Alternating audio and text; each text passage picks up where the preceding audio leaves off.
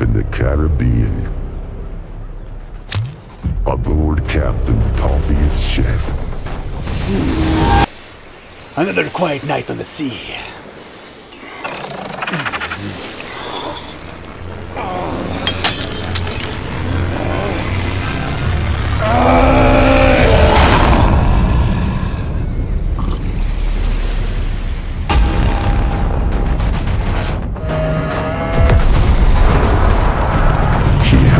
Howls at the moon, transformed from the infinite coffee he consumed.